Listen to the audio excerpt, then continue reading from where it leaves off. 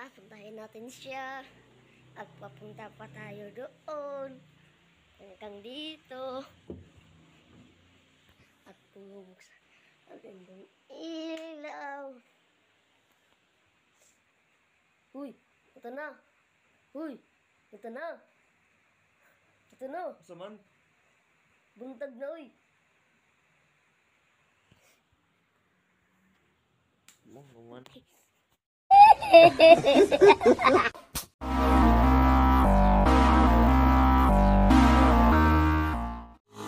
So, good morning guys. So, andito na naman tayo sa ating panibagong vlog. So, ngayon tayo ay mag-vlog tungkol sa ating daily routine. At dito tayo nag-intro sa um, Half Vlog Twisties. So, let's go!